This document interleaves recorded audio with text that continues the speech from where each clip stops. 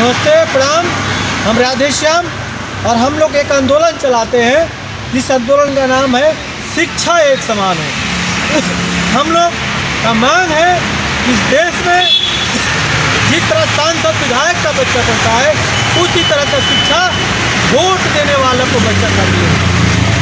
राष्ट्रपति का बेटा हो या चपरासी की संतान, सबकी शिक्षा हो एक समान, यही मांग है।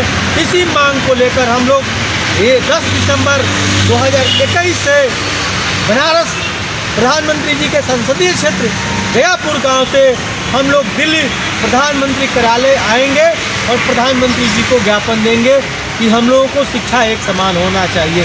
हम लोग जयापुर से चलेंगे तो डीएम जिला अधिकारी बनारस के कार्यालय पर जाएँगे, वहाँ से चलेंगे तो हम लोग जौनपुर जाएँगे। जौनपुर से चलेंगे हम लोग सुल्तानपुर जाएँगे। सुल्तानपुर से चलेंगे हम लोग फिर अमेठी, रायबरेली उन्नाव बाराबंकी लखनऊ। योगी जी को ज्ञापन देंगे।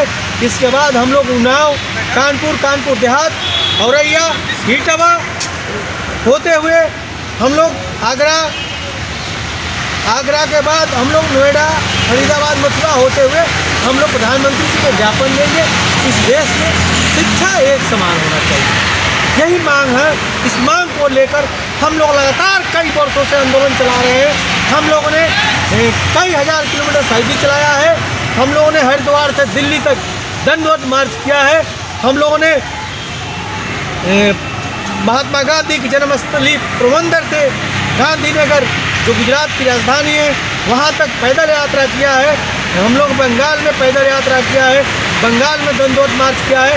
हम लोग बिहार में दंडोत मार्च और क्या है? झारखंड में हम लोगों ने किया है?